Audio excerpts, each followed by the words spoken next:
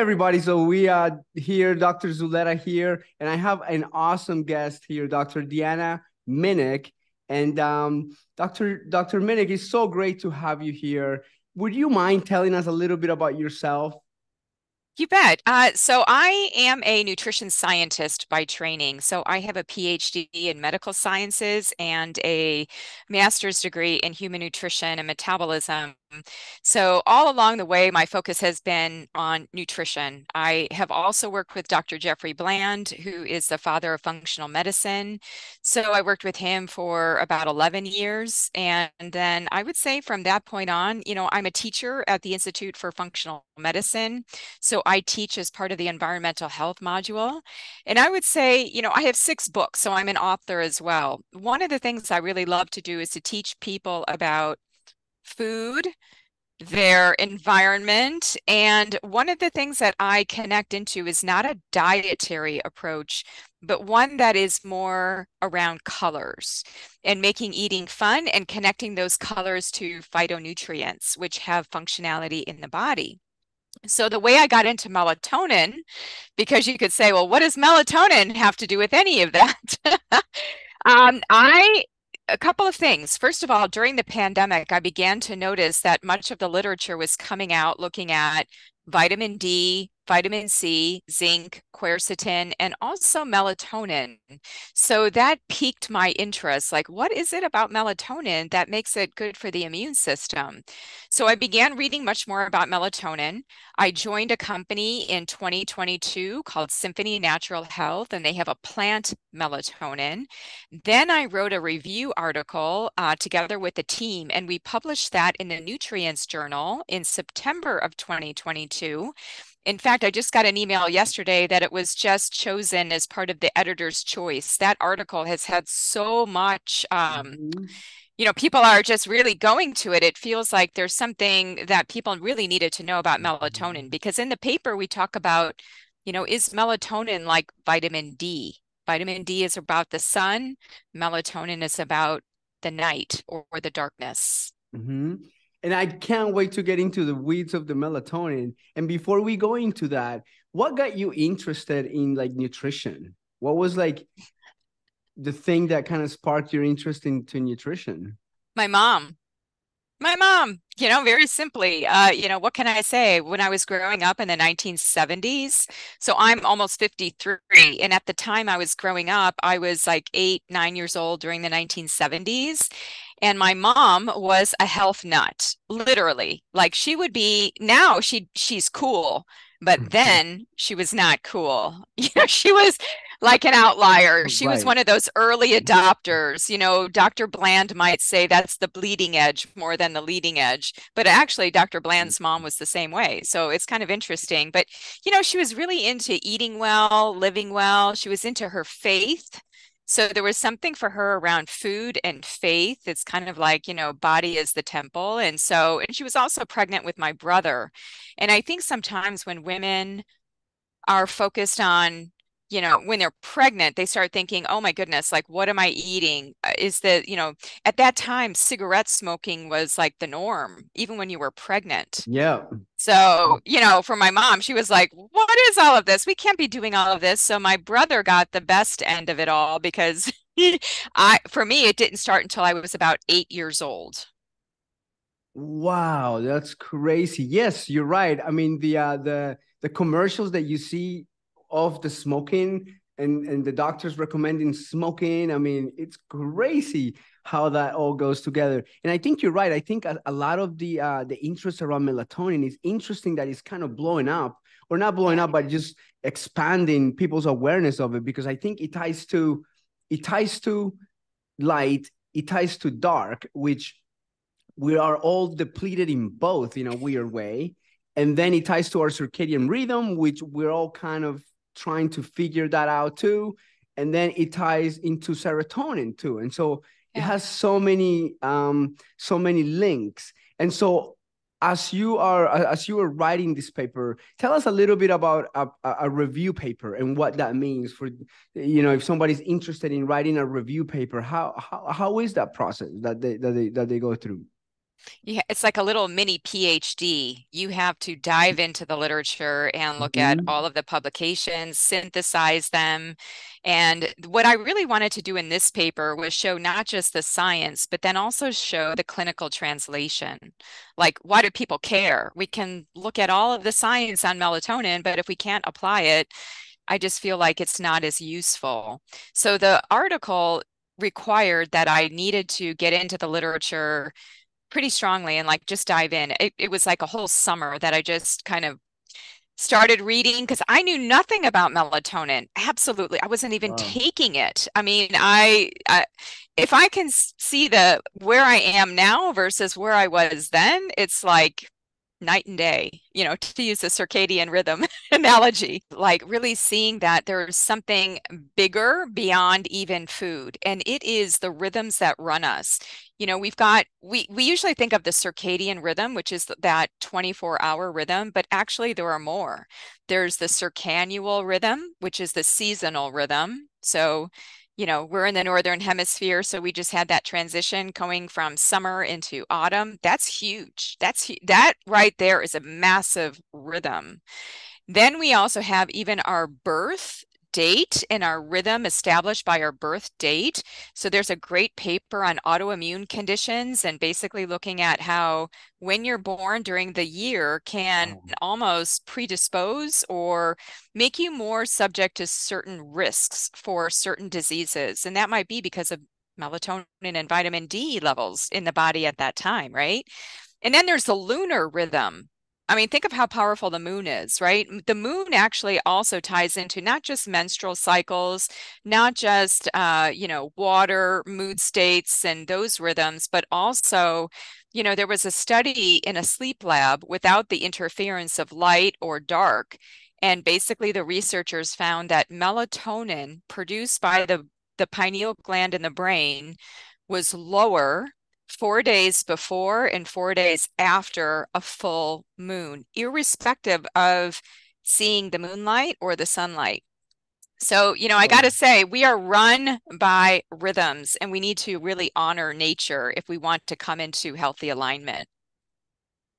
Definitely. Tell me a little bit about uh, that's just so interesting. And I have so many questions about that because you're right. We are such a uh, we're such creatures of our environment and I think we're just beginning to learn even more about this. Um, and I know I, I, love the work from Harvard University with the Human Exposome Project, where they're trying to quantify everything that is coming into us uh, and how it affects us. But I think you're so right. Even when we're born, and I mean, there's studies on even performance. Hockey players that are born at a certain year, at a certain month, uh, you know, most of them can can can have a better career or not. I mean, it, it's so crazy.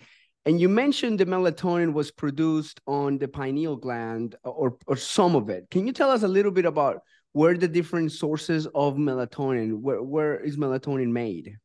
That's a great place to start because mm. most people don't realize this. Yeah. First of all, melatonin is found in plants. It's found everywhere. So let me just first say that. And then melatonin is, if we look in plants, we find it in nuts and seeds, usually at the reproductive portion of a plant, because melatonin in a plant acts as a growth factor. It is oh. the, the pineal gland in humans is one of the first glands to form. And so it's really pivotal. And so, um, Melatonin in plants, we also see it in animals. They produce it from the pineal gland like humans. And then in our bodies, so there are two major places where we see the production. First of all, it's everywhere. It's in the skin, it's in the eyes, it's in the brain, it's in breast milk, it's in uh, the the mitochondria in high amounts. Like if we were just to zoom into the cell, we would find the most amount of, of melatonin in the mitochondria. But the two main places that most people think of is the pineal gland, which is a small endocrine gland right inside the middle of the head. It was referred to as the seat of the soul back in the 17th century by Rene Descartes, who, you know, there was already some acknowledgement of the pineal gland. And then the other place where we make a lot of melatonin is actually the gut. The gut makes 400 times the amount of melatonin the pineal gland does. However, they're a little bit different. They don't, the melatonin that's produced from the pineal gland is used for circadian rhythm regulation and modulation and sleep wake cycle. Mm. The melatonin in the gut is used more as an autocrine or paracrine effect, not true endocrine, not to the same extent as the pineal gland. So, what that means is that after a meal, typically postprandially, we have this release of melatonin by the the intestinal cells and that's typically being used within the cells or maybe around those cells. A little bit is getting in systemically, but that's not doing the same thing as the brain pineal gland. So there's a little bit, and, and we think that, you know, most likely the gastrointestinal uh, melatonin plays a role in motility of the gut, secretions of the gut, and may even help with the gut microbiome modulation.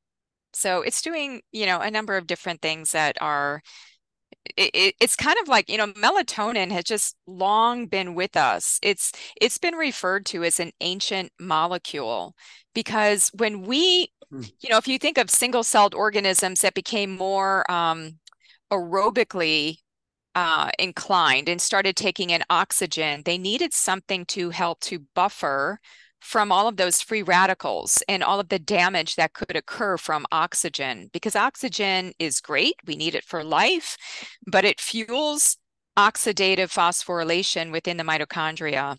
And so melatonin is quenching a lot of that spray of light.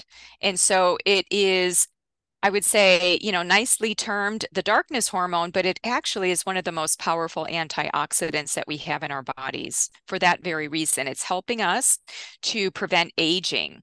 You know, the accelerated aging that can occur with so much of that free radical damage. And, you know, there are a lot of antioxidants, but melatonin is quite unique. You know, it's, um, it's even more effective than glutathione in quenching certain uh, free radicals like the hydroxyl radical. It is um, a bit more potent than vitamin E. You know, one molecule of melatonin can quench up to 10 free radicals. So it's it's pretty pretty potent stuff. That's so interesting. And at a molecular level, how is it regulating the um, the different function that it has in the gut or the different function that it has in the brain? Is it just because of the surrounding molecules that trigger it into doing other things? Or is it actually a different type of molecule? It's not a different type of molecule. It's the identical molecule. And in fact, the kind of melatonin you find in a plant is the same melatonin in our body. So, from a chemical um, composition, it's not different. So it's just a matter of where it's produced. You know, many times the function of a compound of a molecule is determined by its location, right? So lutein, another compound from plants in the brain, is may have different functions than when it's in the ovary or when it's in the skin. So sometimes it's the locational effect, but what we know very definitively from kind of the lineage of research is that the pineal gland melatonin is sent throughout the body systemically at night, and it is connecting to the clock genes within the cells of the body. And the liver is a major clock gene regulator, as is the lungs, as are the kidneys. So, you know, there's something to be said for, you know, when you're asking about like why is it, you know, is it different? It's not different. It's just a matter of where it's being produced.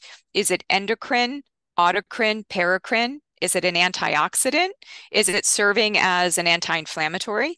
You know, I think in science, so many of us want to slice and dice things and we just say you know oh vitamin c antioxidant right. it's not just an antioxidant it's what we call pleiotropic right we mm-hmm. know that so many just like vitamin d for a second if we look at vitamin d it was probably misnamed as a vitamin you know vitamin d kind of acts like a hormone and it is very similar to melatonin. You know, they're both found in the skin. They're both connected to light and darkness. They both are immune regulators.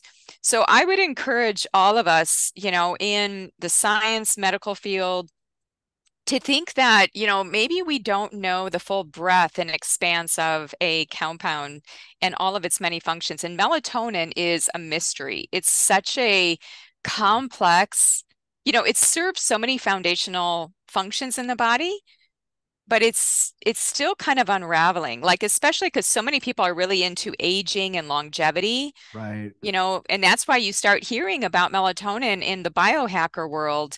And there are some animal studies showing that animals given melatonin live about 20% longer.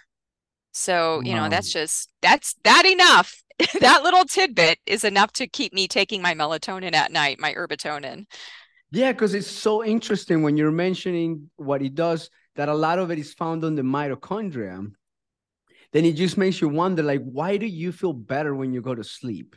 Like, what is happening? Of course, we know a lot of the neuroscience and a lot of the other science of sleep and everything, but at a molecular level, it seems like we're just beginning to understand that all of these molecules are like working hard yeah. throughout our sleep doing things cleaning or getting rid of oxidative stress or i mean just making the cells function better. Um, what are some of those things that are are there different functions that is playing during the day and during the night? Or or is it just kind of throughout the day is is a major antioxidant basically melatonin levels in our blood during the day are negligible we don't have mm-hmm. a lot. They skyrocket at night and they skyrocket at the peak of darkness. So I, I want to go back to what you said because I think it's really important for all of your listeners to know that sleep is so important because it's when we're cleaning things up in the brain. And melatonin is actually part of that process. So if you track some of the major antioxidants in the body, like glutathione, like superoxide dismutase, and some of the different enzyme systems, they peak at night. And that can also be when we have increased flux from the brain of things like beta amyloid metabolites, hyperphosphorylated tau proteins. A lot of these things come from the brain at night into what is called the glymphatic fluid. The glymphatic fluid is basically the lymphatic fluid that is associated with the glial cells. And so we have this interstitial fluid around the brain.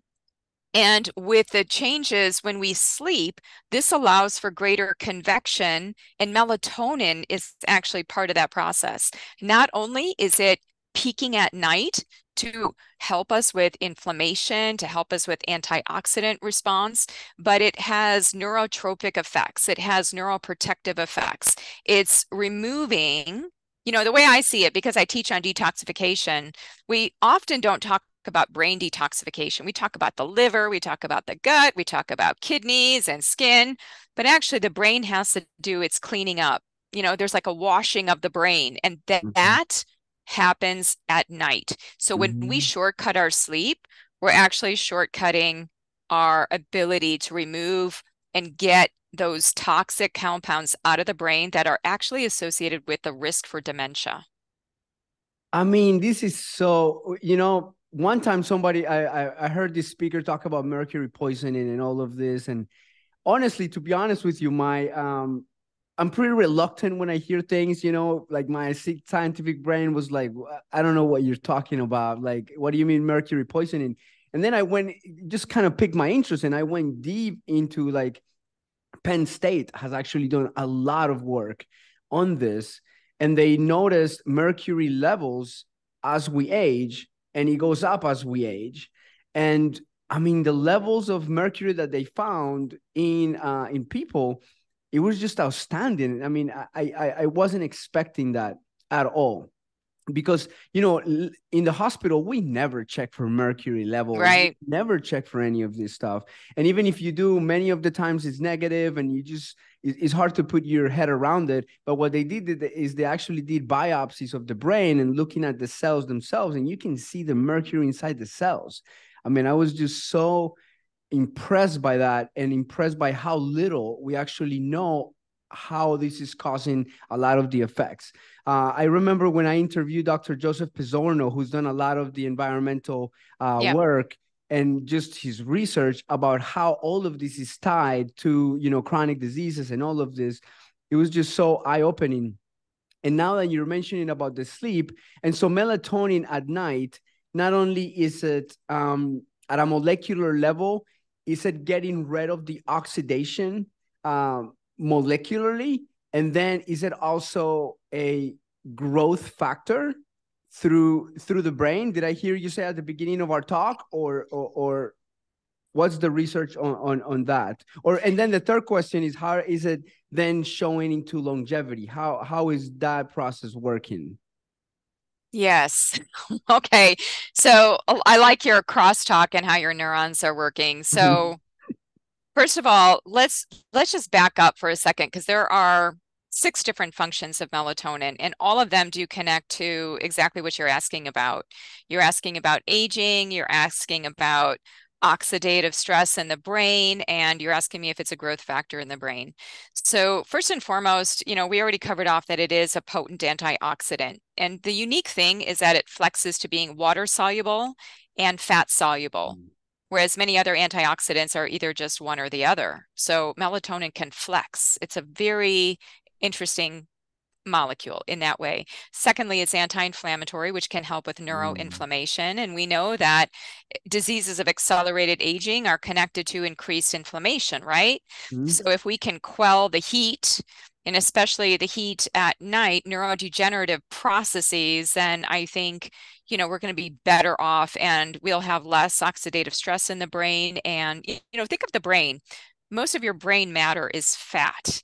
You know, we have fat heads, we have like 60% lipid in our brains. So it's going to be highly um, susceptible to going rancid, if you will. And so having something like melatonin being connected to that is is important. Thirdly, it's a mitochondrial regulator. And we know that the mitochondria is like your divining rod to longevity. You can thank your mom for your mitochondria because most of the DNA for your mitochondria is coming from the maternal line. Mm-hmm. And so the way that you treat your mitochondria and the more that you proliferate it through muscle and other tissues, the more energy you're going to have. It's like you get energy currency, you get more longevity. Well, what is melatonin doing? It's actually regulating, it's produced in the mitochondria in high levels because that's where, too, it's also needed. It is um, also a chronobiotic, meaning that it plays a role in, as I talked about before, sleep wake, circadian rhythm. It plays a role in what is called phase separation. Doris Loh, Dr. Russell Reiter, they talk about this. What is phase separation? So within cellular biology, we have membrane bound organelle like the mitochondria, but then we also have like self aggregating proteins, which can be good things and bad things, things that would we wouldn't want within the cell. It could be viruses that start to aggregate, it could be amyloid that starts to aggregate. Melatonin can interfere and help regulate phase separation in the cell. So you could say, well, that's connected, it would seem, to aging, immune health, and yes. And then um, finally, you know, to kind of be thinking again about the brain, melatonin exhibits so many neurotrophic like effects, you know, so it can promote healthy nerve cell differentiation, proliferation, you know, just like the health of the nerve cell.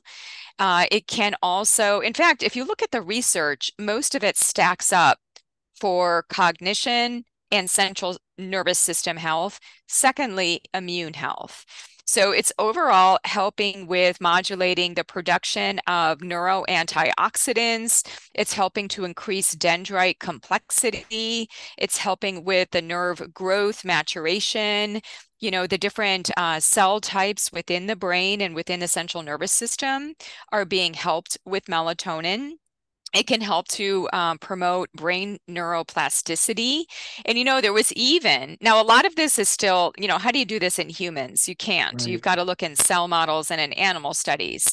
There has been some preclinical work showing that melatonin may actually be helpful in preventing any kind of leaky blood brain barrier right so in functional mm-hmm. medicine we we know a lot about leaky gut we talk about leakiness leaky mitochondria you know we don't want membranes to be all leaky because that's what creates an issue mm-hmm. um, so as it turns out you know some of the preclinical work would suggest that melatonin can help to decrease the permeability of that blood brain barrier, which I think is kind of interesting. So, you know, I, so I, you know, probably for most people thinking about it, they're like, oh, wow, this sounds like a miracle molecule. Um, the thing with melatonin, though, is that children produce the most amount of melatonin. So let's just say from three months on, especially if a baby is breastfed by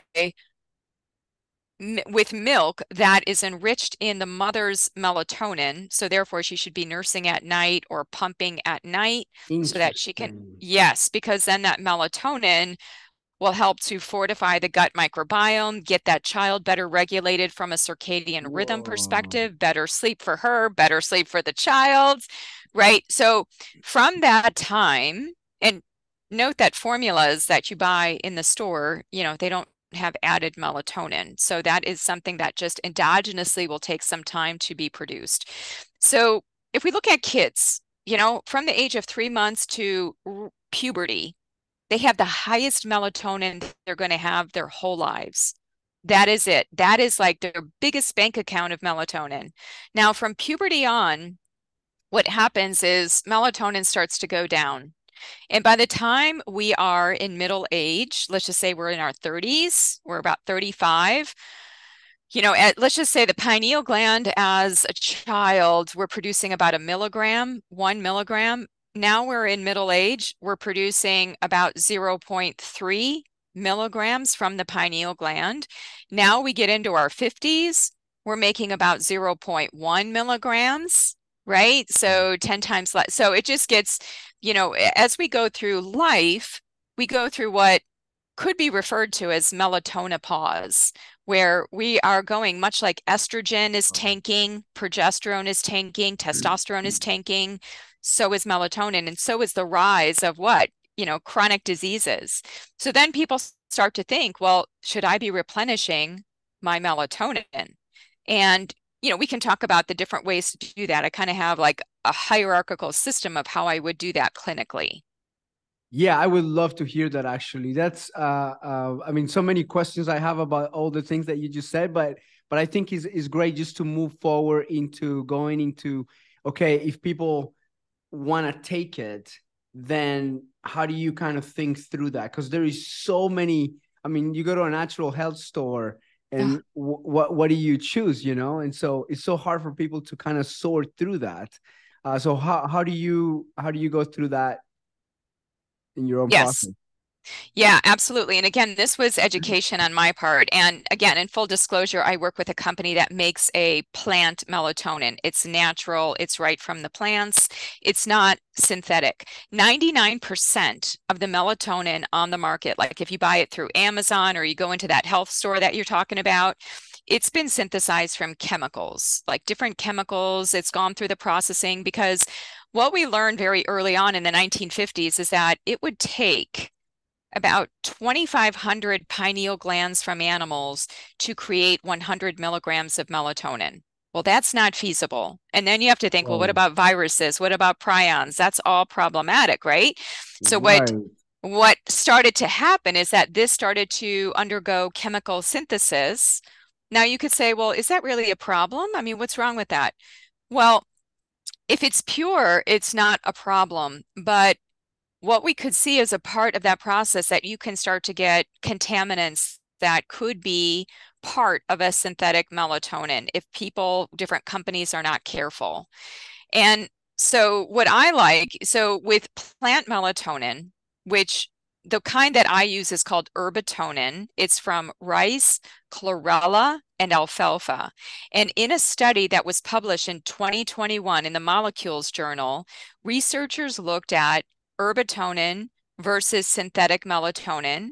And they found that across the board, it outperformed the synthetic melatonin. Even though the melatonin was identical, the herbatonin had other things in it from the plant that seemed to be synergistic.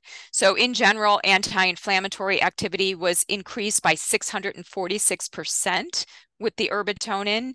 The free radical scavenging, this was in a cell model, was increased up to 470%. Then they also looked in a skin cell line and found that the reactive oxygen species were down 100% with the herbatonin.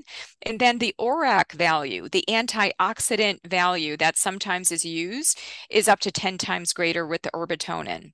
So for all of the biohackers, longevity seekers, all of these people, like if you're going to take a melatonin, you might as well take the best. A lot of them out there are synthetic. Some of them are with other ingredients that could actually change the metabolism of melatonin in such a way to not have such a good effect.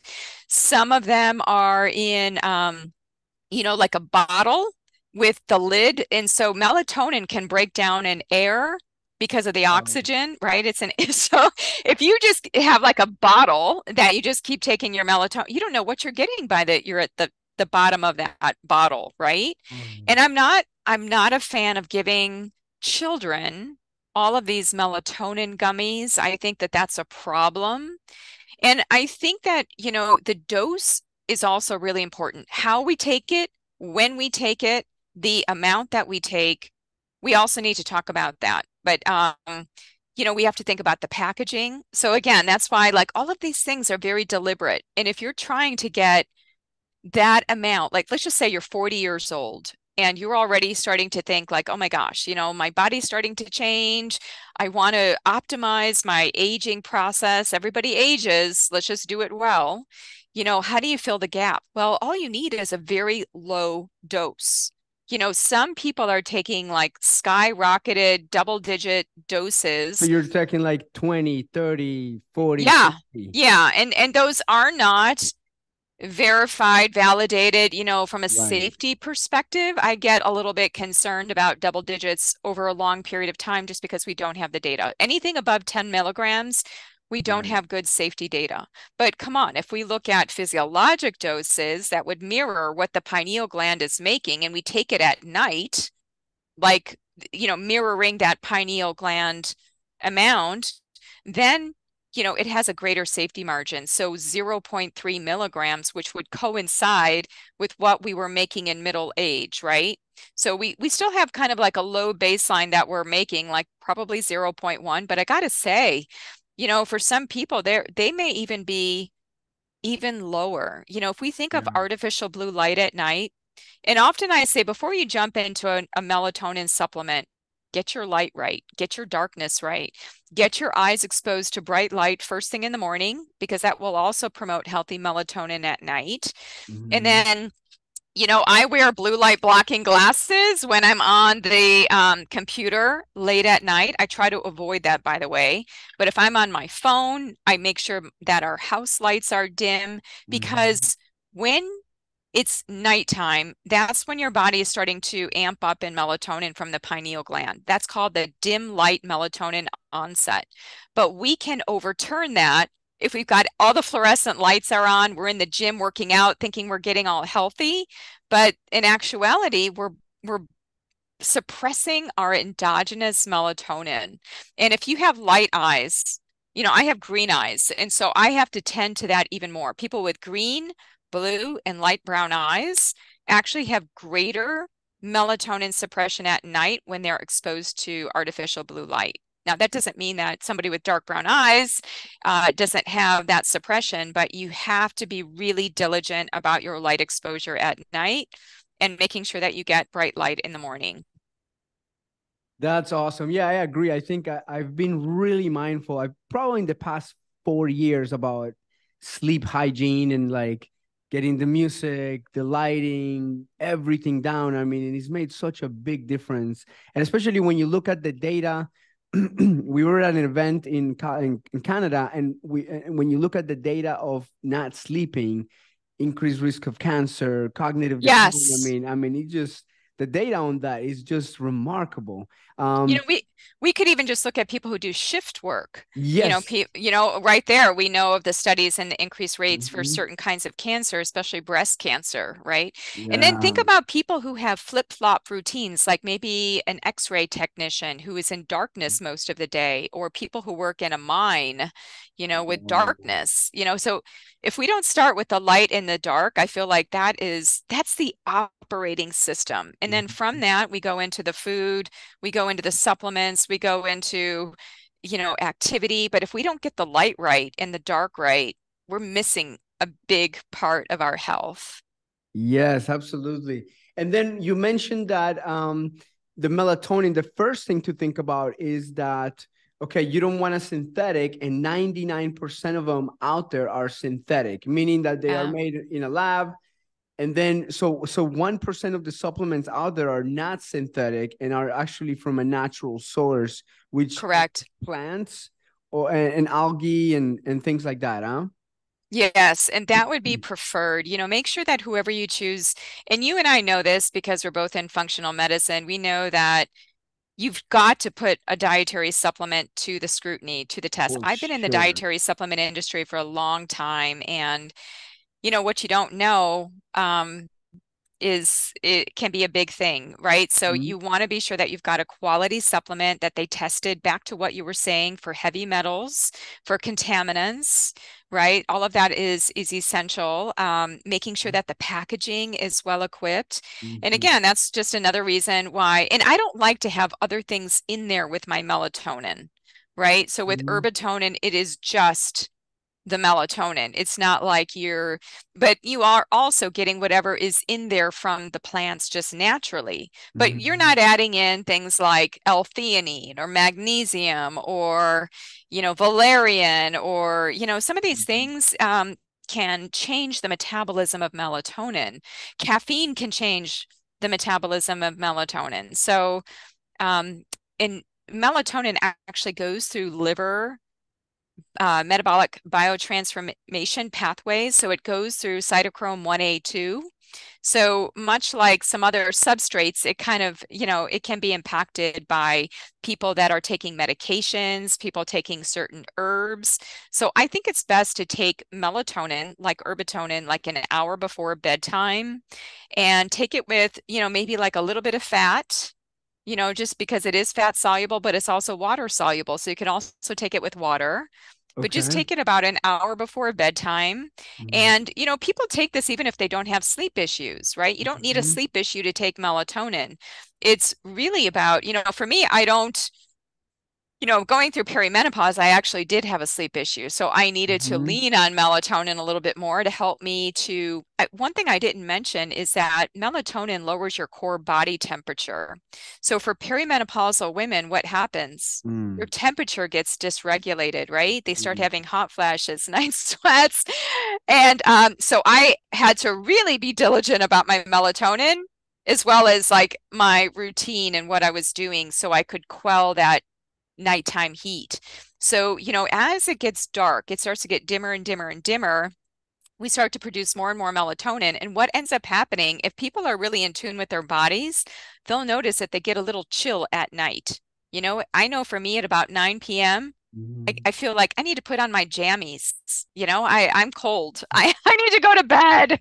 That's melatonin. Melatonin is a Mm. hypothermic agent. And we know in the longevity space that there's so much about using heat, Mhm. using cold. Mhm. And if we are not inflamed, right, we don't have all this heat, we're kind of bringing the body into that quelled temperature zone that is conducive for sleep. And you hear that all the time about how people, you know, you, when you talk about sleep hygiene, you know, one of the things is getting the temperature right in the room, but we also have an inner body temperature, which can be modulated and regulated through melatonin.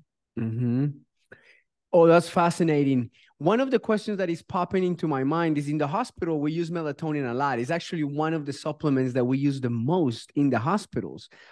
But I always wonder nowadays, I mean, now with methylation medicine and epigenetic medicine coming out and pharmacogenomics, I wonder if there was any, if you had any thoughts about why does it work for some people? Why doesn't it work for some people?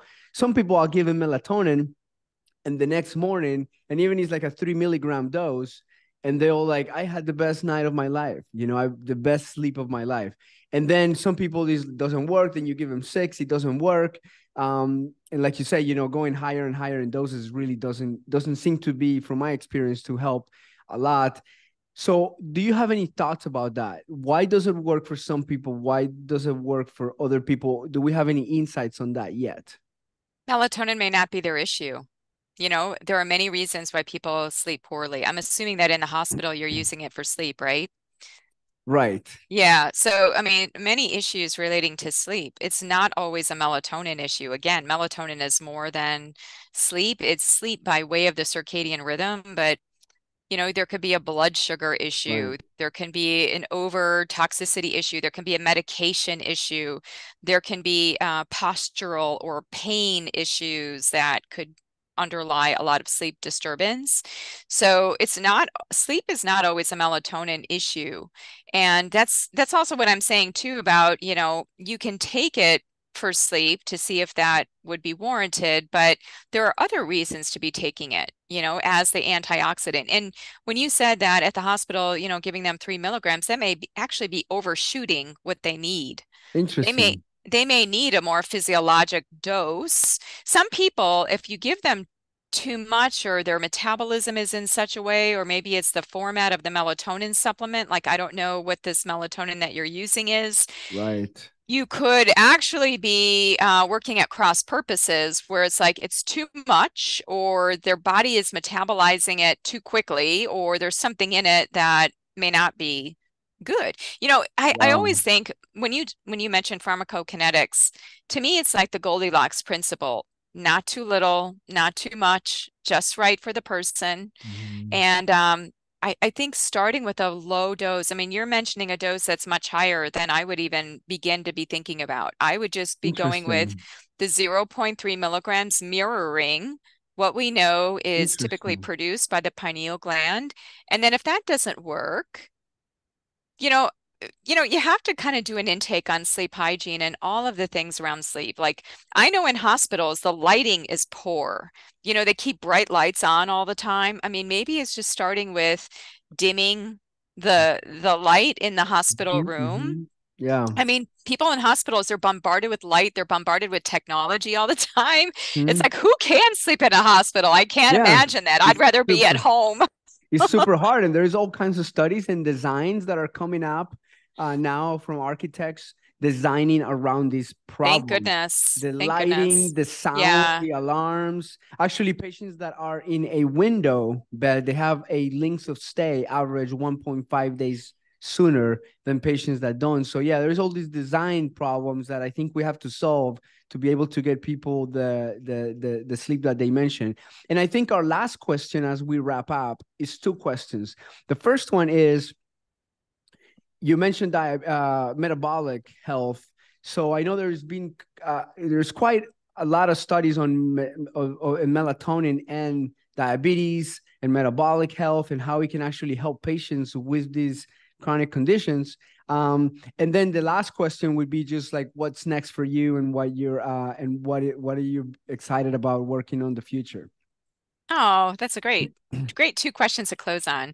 So metabolic uh, impacts. Well, first of all, I I think um, you know there was a study that I just came across and I just posted on my social media, and it was um, that wearing blue light blocking glasses. This was in healthy men, so they didn't have metabolic disruption, but they wore blue light block blocking glasses two to three hours before bedtime for one month and there were improvements in their fasting plasma glucose and their HOMA score, which is a measure of basically insulin resistance and sensitivity. So that was just from wearing blue light blocking glasses. That wasn't even taking Oh. melatonin. But we do know that melatonin, uh, as a neurohormone, is connected into other hormones like cortisol and insulin.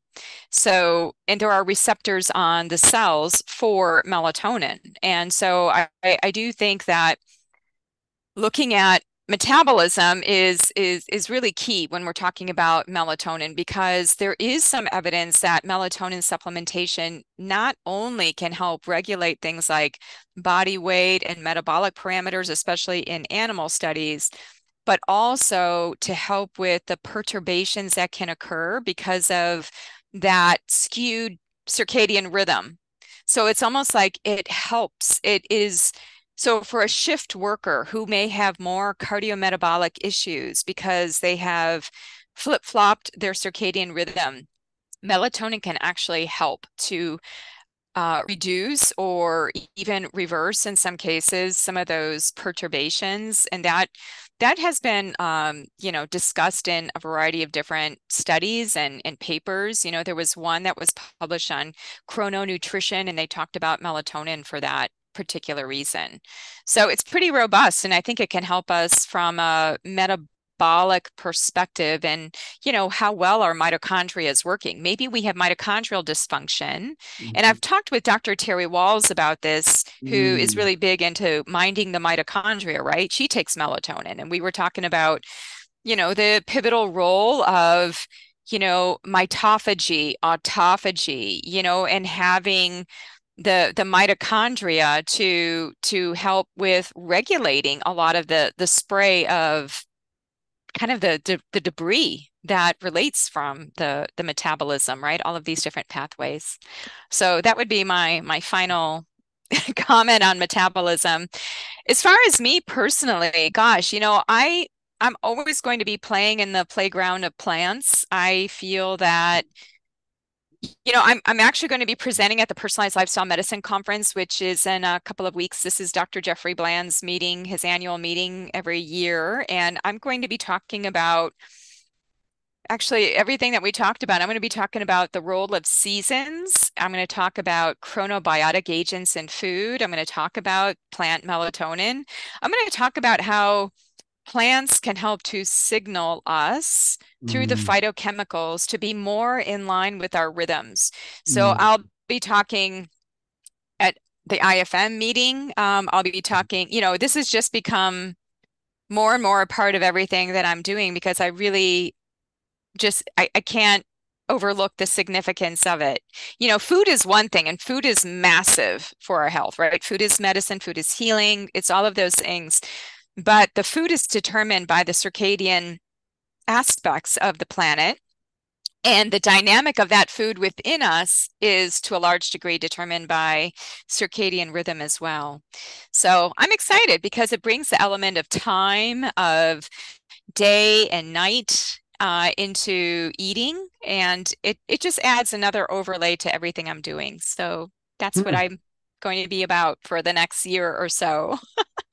That's awesome. And it's such an important message, I think, nowadays, because everybody is trying to figure out how to live a better day and also have a better night, you know? And yes. So, uh, and so it just kind of ties it all together. Uh, and, and doing something that is natural and that is being a, is an ancient molecule, like you mentioned. Um, yeah, it's yeah, really it's not new. Yeah, yeah, it's not. And so, if somebody wants to get that herbatonin, where should they go? Yeah, they can go. I mean, it's on Amazon. Um, they it. can just go right to the website, symphonynaturalhealth.com. Um, feel free to, for anybody listening, feel free to email me if you have questions about melatonin. Um, you know, there's also a medical team at Symphony Natural Health, and they can get into the nuance. Like if you prescribe this to patients and you want to understand more, you know, that is also available. So yeah, and otherwise, I'm available on social media. I just made a few posts on melatonin actually, like, because I, I really do think it's important to get the education out there. I think that some people are afraid of it.